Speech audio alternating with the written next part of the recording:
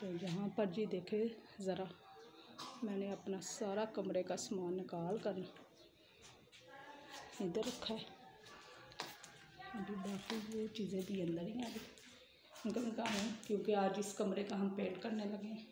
नदीम साहब को बड़ी मुश्किल से बनाया है। बहुत कह रहे थे कि अब ये चीज़ें बाहर निकालने वाली जूते वगैरह। वो मान ही नहीं रहे थे, कह रहे थे मेरी तबीयत से बाकी उनको बुखार है आज। तो रात को टिका तो लगवा लिया था। और लाइट अभी बंद है। मैं तब, जब तक लाइट आती है तो मैं चीज़ें निकालती हूँ। फिर बाप को बस स्कूल छोड़ के आए तो ऐसा था चीज़ें निकाल रहे और फिर वो लेने गए हैं कलर, जो पेंट में डालना है। तो लेके आते हैं। लाइट भी आ जाएगी। तो फिर शुरू करेंगे जी पेंट करना। मैंने बड़ी मुश्किल से कह रहे थे रह रहे तो रह मैं खबर लाए के आए हुए हैं तो ज़ाया हो जाएगा। पहले करेंगे जी कमरे को, क्योंकि एक कमरे का तो हमारा हो गया भाई इस कमरे का। तो इस कमरे का करना फिर करेंगे जी सेन में।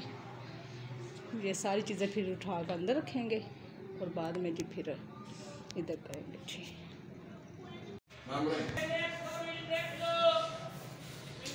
माशा जी कमरे का हो गया तो आप करने लगे हैं सेहन का। क्यों?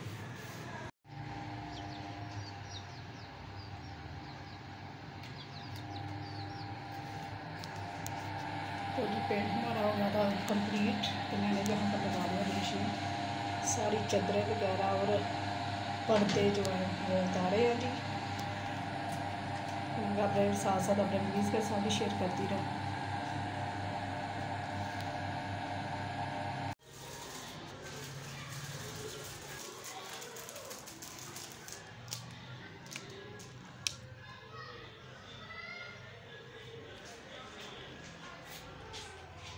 बिस्मिल्लाहिर्रहमानिर्रहीम अस्सलाम वालेकुम कैसे जी आप सब? उम्मीद करती सब मैं ठीक होंगे। अलग ही टाइम से मैं भी ठीक हूँ। आप यहाँ भी रहे, खुश रहें अब आप रहें हँसते रहें, मुस्कुराते रहें। तो इसने एक बार के साथ यार को लोग करते हैं शुरू। सुबह आपको जैसे कि आपको पता मैंने सुबह भी थोड़ी सी वीडियो बनाई थी कि हम आज कर रहे थे जी पेंट करके सारी सफाइयाँ। तो ये जो अभी आप रहे तस्वीर देखिए इसमें मैं हूँ नदीम साहब है और मेरा बेटा है। तो ये काफ़ी देर की तस्वीर है हमारी। तो सफाइयाँ की हैं। सब चीज़ें जी दो जाकर हर चीज़ जी, अपनी अपनी जगह रख दिए पहले किया था जी कपड़े का पेंट माशा से नीट दीवारें लग रही है ना, सारी ये देखिए हर चीज़ अपने अपनी जगह रख दी रख दिया जी हमने सारे बिस्तर तो जोड़ दिए। और सब कुछ अपना और सेम के सारी कर दी है। ये देखते जरा ये पहले हमारी इधर नहीं थी लगा रही रखी तो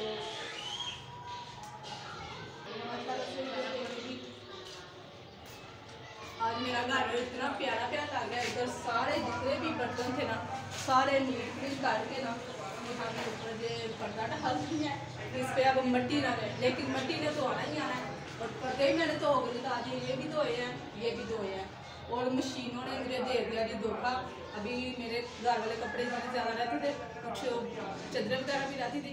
दोनों मशीनें जी हो गई पानी मुझे समझ नहीं लगी, अभी एक बुट डाला दूसरा डाला तो मशीन का तो मैंने नहीं चला। वो नहीं चली। और स्पिनर में मैंने डाला तो स्पिनर भी थी, उसने भी दुआ छोड़ दिया। मुझे समझ लगी कि पता क्या हो गया। इस बात की उसने हमारे साथ दुश्मनी निकाल दिया चाणक से जी दोनों मशीन खराब हो गई। तो मैंने अब सारी गाट बाँध कर रख दी है कि कल इन्हें धोएँगे हाथों से धोएँगे नहीं तो नदीम साहब रहम करेंगे हम पर।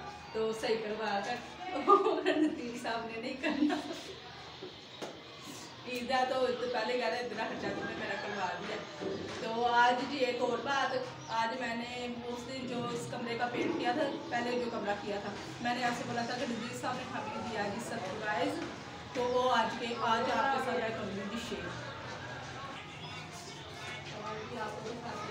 सरप्राइज़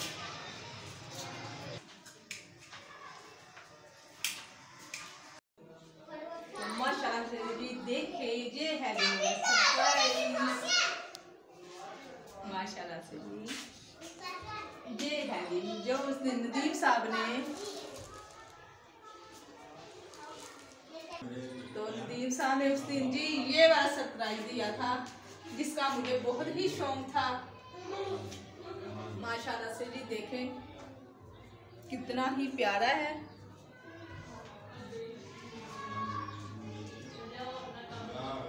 और बैठ कर मुझे बहुत शौक था, मेरे बच्चों को भी बहुत शौक था। माशाल्लाह से जी, मेरी बचपन की लगा के वैश पूरी हो गई तीन साल जी कर दी है। ये देखो माशाल्लाह से जी गद्दा भी ले आए थे ना सारी चीज़ें और इसी वजह से जी हमने फिर रोजर बैड नहीं खोले जाते इसलिए जी हमने जी पेंट हमें करना पड़ा। उस दिन इस कमरे का हमने किया था तो आप आज वो सेल का और बाहर उस दूसरे कमरे का कर लिया तो मैंने कहा आज इतने दिन हो गए रोज टाइम नहीं था लगाना वीडियो बनाने। का के ना शेयर कर देती हूँ कि सरप्राइज़ क्या था और माशाल्लाह से जी बहुत ही अच्छा है और बाप भी बहुत खुश है। मैं भी बहुत खुश हूँ। तो अभी इसकी बेडशीट भी लाए हैं।